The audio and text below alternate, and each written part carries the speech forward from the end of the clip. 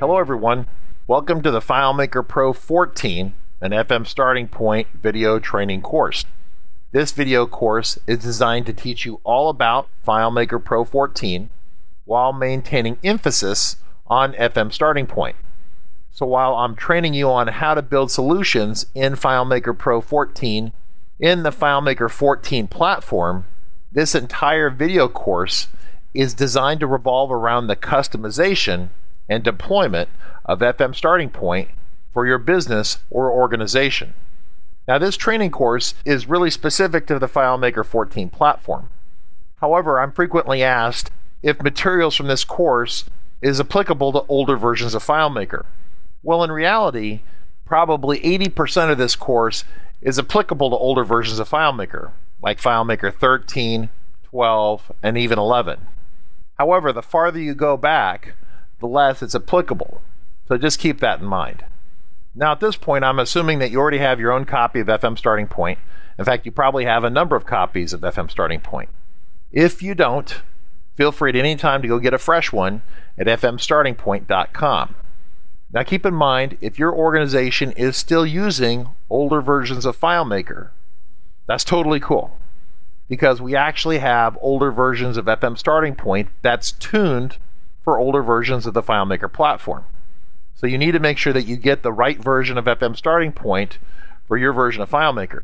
You don't want to get the latest version of FM Starting Point and then try to use it with FileMaker 11 or 12. That'll just be a bad idea. So real quick, here's the grid of the versions of FileMaker and how they match up to the versions of Starting Point. And what you're going to notice is that we've kind of changed up the versioning here just a little bit. And that way in the future, when we get the FileMaker 15 someday, we'll actually have FM starting point 0.5, So the numbers will kind of match up a little bit. But at the current time, we have FileMaker 14 and starting point 4.5. And then, of course, going backwards, we have FileMaker 13 and version 4, FileMaker 12 and version 3, and those are the ones that you can get on our website right now. If you need FM Starting Point version 2, because you're still far enough back that you're using FileMaker 11, you can email us at support at RC Consulting. We'll totally hook you up. Now, of course, I'm going to encourage you to buy a newer version of FileMaker. So moving along, during the course of this video, we're going to be trying to teach you how to develop new modules for your copy of FM Starting Point you're going to be learning about the relational model within the FileMaker platform and how that relational model works with an FM Starting Point.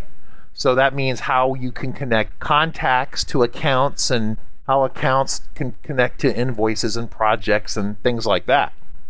So you're going to be gathering the knowledge to potentially create with an FM starting point your own custom modules or to modify the modules that are already in there. Pretty cool stuff.